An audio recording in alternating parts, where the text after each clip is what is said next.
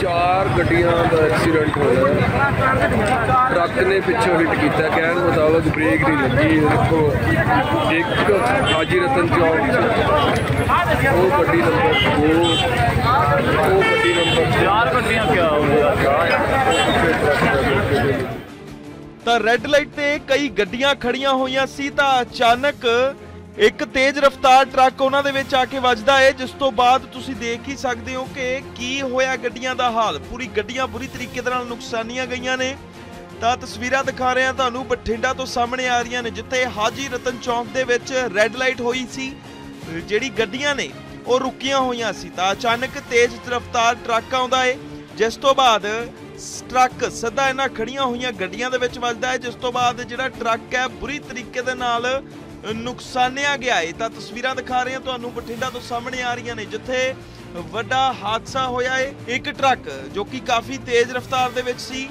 ਕਈ ਗੱਡੀਆਂ ਨੂੰ ਆ ਕੇ ਉਸਨੇ ਟੱਕਰ ਮਾਰੀ। ਜਿਸ ਤੋਂ ਬਾਅਦ ਗੱਡੀਆਂ ਦਾ ਤੁਸੀਂ ਹਾਲ ਦੇਖ ਹੀ ਸਕਦੇ ਹੋ। ਤਾਂ ਕਾਰਾਂ ਤਬਾਹ ਹੋ ਗਈਆਂ ਨੇ, ਕਈਆਂ ਦਾ ਨੁਕਸਾਨ ਹੋਇਆ ਹੈ ਦੱਸ ਦਈਏ ਕਿ ਅਚਾਨਕ ਇਹਨਾਂ ਕਾਰਾਂ ਨੂੰ ਟੱਕਰ ਮਾਰਨ ਤੋਂ ਬਾਅਦ ਜਿਹੜਾ ਟਰੱਕ ਹੈ, ਉਹ ਥਾਂ ਹੀ ਰੁਕ ਗਿਆ। ਬਾਅਦ ਦੇ ਵਿੱਚ ਡਰਾਈਵਰ ਨੂੰ ਕਾਬੂ ਕਰ ਲਿਆ ਗਿਆ ਹੈ ਹੁਣ ਤਫਤੀਸ਼ ਇਸ ਗੱਲ ਦੀ ਕੀਤੀ ਜਾਵੇਗੀ ਕਿ ਹਾਦਸਾ ਹੋਇਆ ਕਿਉਂ? ਕੀ ਟਰੱਕ ਦੀਆਂ ਬ੍ਰੇਕਾਂ ਖਰਾਬ ਹੋ ਗਈਆਂ ਸੀ ਜਾਂ ਫਿਰ ਇਸ ਪਿੱਛੇ ਮਾਮਲਾ ਕੁਝ ਹੋਰ ਹੈ?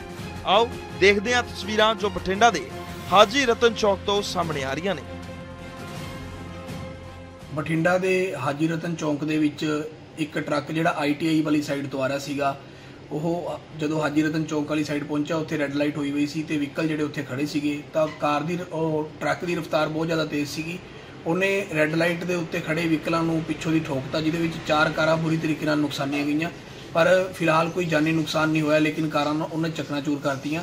ਪ੍ਰਸ਼ਾਸਨ ਨੂੰ ਬੇਨਤੀ ਹੈ ਕਿ ਜਿਹੜੇ ਇਹ ਐਡੇ ਜਿਹੜੇ ਵੱਡੇ ਹੈਵੀ ਵਹੀਕਲ ਹੈਗੇ ਆ, ਉਹਨਾਂ ਦੀ ਜਿਹੜੀ ਸਪੀਡ ਲਿਮਿਟ 40 ਦੀ ਨਿਰਧਾਰਿਤ ਹੈ ਸ਼ਹਿਰ ਦੇ ਵਿੱਚ, ਤਾਂ ਉਸ ਤੋਂ ਜਿਹੜੇ ਵੱਧ ਸਪੀਡ ਵਾਲੇ ਹੁੰਦੇ ਹੈਗੇ ਇਸ ਤਰ੍ਹਾਂ ਦੇ 4 4 ਵੀਲਰ ਵੱਡੇ ਟਰੱਕ ਟਰਾਲੇ, ਇਹਨਾਂ ਦੀ ਸਪੀਡ ਦੇ ਉੱਤੇ ਕੰਟਰੋਲ ਕੀਤਾ ਜਾਵੇ ਤੇ ਜਿਹੜੇ ਓਵਰ ਸਪੀਡ ਹੋਣ ਤੇ ਉਹਨਾਂ ਦਾ ਜਿਹੜਾ ਹੈਗਾ ਚਲਾਨ ਕੱਟਿਆ ਜਾਵੇ ਜਾਂ ਵਹੀਕਲ ਬਾਉਂਡ ਕੀਤਾ ਜਾਵੇ। ਚਾਰ ਗੱਡੀਆਂ ਦਾ ਐਕਸੀਡੈਂਟ ਹੋਇਆ। ਹੈ। ਟਰੱਕ ਨੇ ਪਿੱਛੋਂ ਹਿੱਟ ਕੀਤਾ। ਕਹਿਣ ਮੁਤਾਬਕ ਬ੍ਰੇਕ ਨਹੀਂ ਲੱਗੀ। ਦੇਖੋ ਇੱਕ ਹਾਜੀ ਰਤਨ ਚੌਕ ਉਹ ਗੱਡੀ ਨੰਬਰ 2 ਉਹ ਗੱਡੀ ਨੰਬਰ ਚਾਰ। ਗੱਡੀਆਂ ਕਿਆ ਹੋ ਗਿਆ?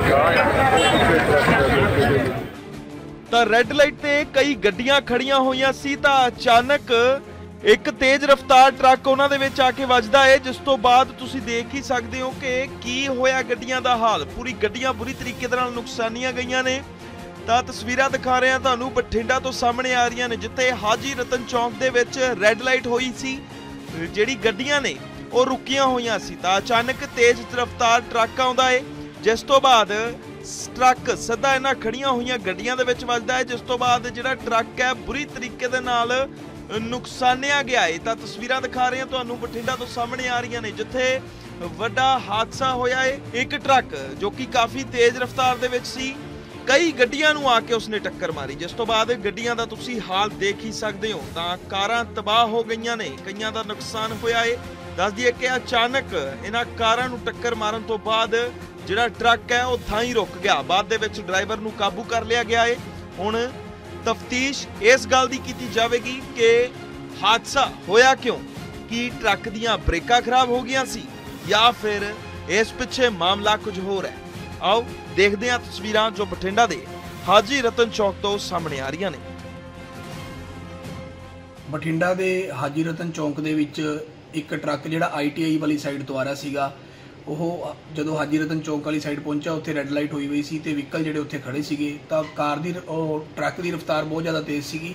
ਉਹਨੇ ਰੈੱਡ ਲਾਈਟ ਦੇ ਉੱਤੇ ਖੜੇ ਵਹੀਕਲਾਂ ਨੂੰ ਪਿੱਛੋਂ ਦੀ ਠੋਕਤਾ, ਜਿਹਦੇ ਵਿੱਚ ਚਾਰ ਕਾਰਾਂ ਬੁਰੀ ਤਰੀਕੇ ਨਾਲ ਨੁਕਸਾਨੀਆਂ ਗਈਆਂ। ਪਰ ਫਿਲਹਾਲ ਕੋਈ ਜਾਨੀ ਨੁਕਸਾਨ ਨਹੀਂ ਹੋਇਆ, ਲੇਕਿਨ ਕਾਰਾਂ ਨੂੰ ਉਹਨੇ ਚਕਨਾਚੂਰ ਕਰਤੀਆਂ।